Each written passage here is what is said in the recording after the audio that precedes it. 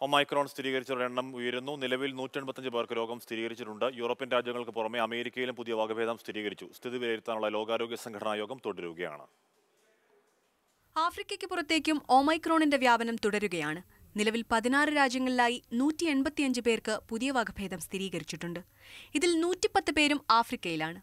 പോർച്ചുഗലിൽ football ക്ലബിലെ പതിമൂന്ന് പേർക്കും സ്കോട്ട്ലൻഡിൽ വിദേശയാത്ര നടത്തിയിട്ടില്ലാത്ത ആറു പേർക്കും ഒമൈക്രോൺ സ്ഥിരീകരിച്ചു. നോർത്ത് അമേരിക്കയിലും രോഗം സ്ഥിരീകരിച്ചു. ഇതിനു പിന്നാലെ പ്രതികരണവുമായി അമേരിക്കൻ പ്രസിഡന്റ് ജോ ബൈഡൻ രംഗത്തെത്തി.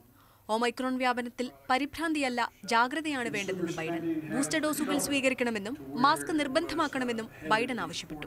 രോഗസ്ഥിരീകരണത്തെ തുടർന്ന് എട്ട് ആഫ്രിക്കൻ രാജ്യങ്ങളിലേക്ക് അമേരിക്ക യാത്രാ നിരോധനം ഏർപ്പെടുത്തി. ആഫ്രിക്കയ്ക്ക് സഹായ വാഗ്ദാനവുമായി ഇന്ത്യയും രംഗത്തെത്തി. ജീവൻ രക്ഷാ ഉപകരണങ്ങളും വെന്റിലേറ്ററുകളും മരുന്നുകളും ദക്ഷിണാഫ്രിക്കയ്ക്ക് നൽകുമെന്ന് വിദേശകാര്യ മന്ത്രാലയം അറിയിച്ചു. സ്ഥിതി വിലയിരുത്താനുള്ള ഡബ്ല്യുഎച്ച്ഒയുടെ നിർണായക യോഗം തുടരുകയാണ്. യോഗശേഷം ഓമൈക്രോൺ നേരിടാനുള്ള പുതിയ അന്താരാഷ്ട്ര പ്രോട്ടോകോൾ ലോകാരോഗ്യ സംഘടന പ്രഖ്യാപിക്കും. ഓമൈക്രോണിനെതിരെ ഫലപ്രദമായ വാക്സിൻ വികസിപ്പിക്കാനുള്ള നടപടികൾ തുടങ്ങിയിട്ടുണ്ട്.